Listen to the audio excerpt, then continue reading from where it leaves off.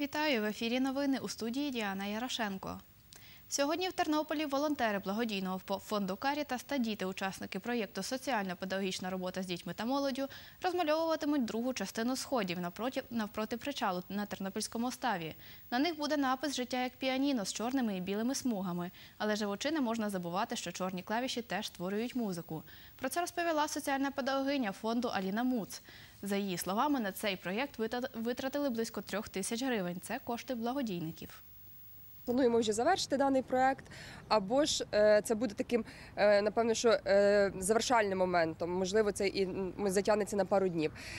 Ці нижні сходи, які зараз вони просто білі, на них будуть цитати. Варіанти цитатів вибрали самі діти, тобто їх було. Більше десяти, але шляхом голосування в Вайбері ми дійшли згоди, що залишили два. Один з них це були слова з пісні Скрябіна. І Інший е, також е, хороша така цитата, яка що стосується музики. Е, Ну тобто, ми там було безліч варіантів і про милосердя, і ще інші, інші, інші. Але ну, на нашу думку, на думку дітей, ці слова будуть обов'язково пасувати до сходів піаніно.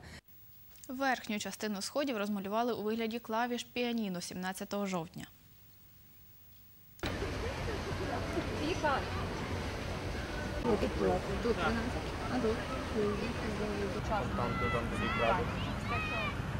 Малюємо їх у вигляді клавіш фортепіано.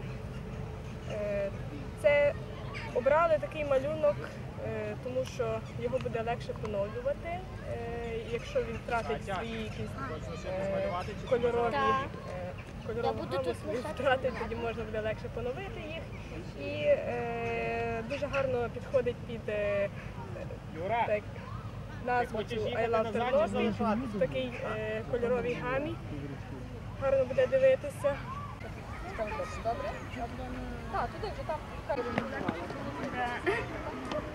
Кажу ще хто хоче попробувати, знаєте, що було б я собі тепер думаю, у вас були просто самі трафарети з чорними листками.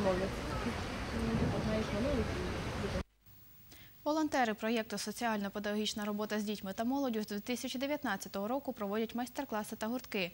Організовують для підлітків відпочинок, розповіла соціальна педагогиня Тернопільського благодійного фонду Карітас Аліна Муц. Ярослав Леонець розвішує картини в галереї Бункер Мосп. Це одна з робіт Розбитий піонер. Каже, ідея написання з'явилася після відвідин майстерні товариша скульптора. У них там е, в коридорі стояли різні скульптури гіпсові, і одна так впала і в крах розбилася саме ця.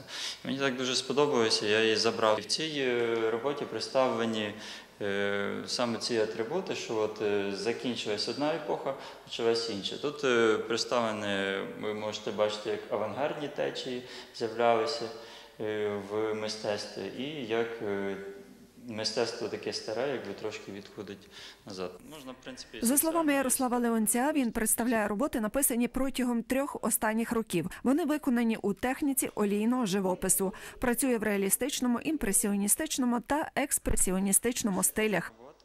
Каже, улюблені жанри портрет та пейзаж. Розповідає, чому назвав виставку Відблиск.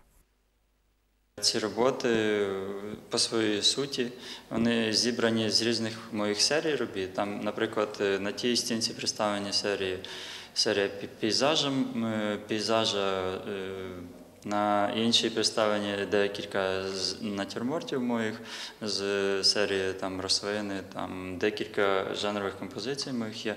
Відблиск мене, відблиск з різних сторін, мої пошуки, мої експерименти під час останніх років. Анжела Шова, Андрій Прокопів. Новини на Суспільному. Тернопіль. 11 живописних полотен представив у Тернопільській галереї Бункермус художник з Хмельницького Ярослав Леонець. Свою першу персональну виставку він назвав Відблиск. Ярослав Леонець народився в Хмельницькому, закінчив Харківську академію дизайну та мистецтв. Зараз живе у Києві. Член молодіжної спілки художників України. За словами автора, відблиск це відзеркалення його власних відчуттів.